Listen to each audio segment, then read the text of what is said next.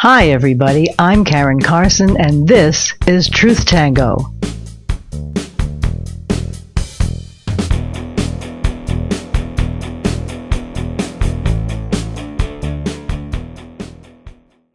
Today's Truth Tango is I want free energy like Tartaria. I want my free energy, and it is mine too. It's ours. This flat earth was made for us, and we had everything we needed until it was screwed with. We had lights and electricity that was generated by nature, well, along with a few precious earthly gifts like copper, mercury, and lead. Yeah, all those things that we were told were so bad for us. Spires and domes were topped with gold and along with other metals to generate electricity. They used local waterways, which were also part of this ingenious, unique infrastructure that has systematically been destroyed over time. Healing was done with sound and vibrations using those ginormous pipe organs that most people think are for church choirs. No, people gathered in the square to bathe in the energy, the sunlight, and the musical healing sounds. And this is how they were kept healthy. When a government is hell bent on controlling the masses, free anything is out of the question. So they took it from us. Those hideous telephone and electrical poles dot our landscape with a terribly unnatural way to harness what is already there, free and available for use. But they need to control it. They want to be paid paid for something they did not create and have no business collecting money for it. They must be really scared of losing their so called power. Just to be clear, I'm talking about before what I call the Victorian slash cowboy times. By the way, isn't it weird that both of these eras were in existence simultaneously? We picture the rugged cowboy with a sweaty scarf, dusty clothes, and a cowboy hat to shield them from the scorching sun, as their women wash the family clothing on a scrub board and cook over a fire all day long. This, alongside people dressed in elegant Victorian clothing, living in castles with servants that cook on, perhaps, radium stoves? There is an awful lot that has been kept from us. Thankfully, the information highway, as infiltrated as it is, still has some data available to put together the omitted history lessons we were cheated. As some podcasters indicate, Wikipedia is so wrong about so many things, contradicting itself about just everything, that it's becoming laughable. Perhaps we'll be able to collectively put together a world history that actually makes sense. I do hope it's during our lifetime we deserve to know at least that. But getting back to free energy, people had free water too, and it was pure and clean. I don't think we can even imagine that coming from a stream or a brook at this point in time, but I do hope they still exist because I get my water from a spring. I can only hope it's still clean.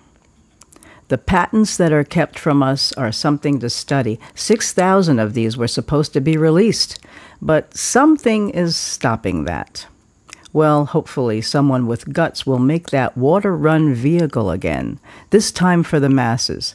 Except they were way past that as well. That is, before the reset that created the cowboy days. There were flying cars, as there are today, in other places. There was teleportation. Yeah, like Star Trek. These teleportation arches were found in the castle like structures as well. Apparently, people, sometimes 10 at a time, were able to teleport to other places, perhaps to even another time. This stuff has been hidden, along with all natural cures for ailments. People lived long, beautiful lives. I don't think there was religion because I think they all knew there was one God and it seems that they lived in harmony together, just knowing that. I believe religions were formed by the same people who stole the castles and called themselves kings in order to divide the world into sections. I suppose it's so much easier to rule that way, split up the people among the kings. And isn't religion always the culprit for war and money and power?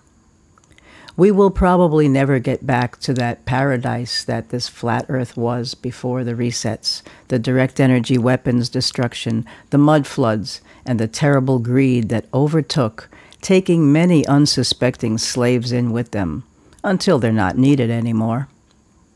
But we can certainly get free energy back. It's in the ether, it's in the air. Remember, God gave us everything we need. We just have to protect it nourish it, encourage it, and resist the control.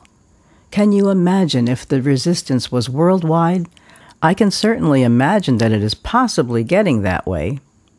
As people find out what we used to have and can't have now because of a greedy few, as people find out that they served their country not fighting for a cause, but actually fighting and dying for a filthy rich banker, as people find out that we should all be rich with good, nutritious foods, clean waterways, and free natural energy. As people find out the truth about the luxurious, affordable airships and how they docked at mooring stations in the sky atop the fabulous skyscrapers, which were already there for perhaps hundreds of years. As they find out all of these things, something is going to click and they're going to get pissed, and we're going to get what we deserve again. Not sure if I'm going to see the other side of this in my lifetime, but if we play our cards right, right now, we will see the beginnings of a bright, new, beautiful world created for us and by us with the help of a government that serves us. Until next time, I'm Karen Carson, and this is Truth Tango.